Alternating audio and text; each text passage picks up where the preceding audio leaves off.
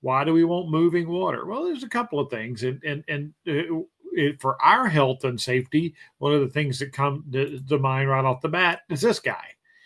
because mosquitoes will lay their eggs on still stagnant water and the eggs of a mosquito have to breathe and so they cling to the surface tension of the water and they don't uh, they, they actually breathe oxygen so if you've got moving water if you're keeping water moving then those eggs float to the bottom and the mosquitoes can't use your your source of water as a nesting place or breeding place. So that's number one just kind of from our benefit. But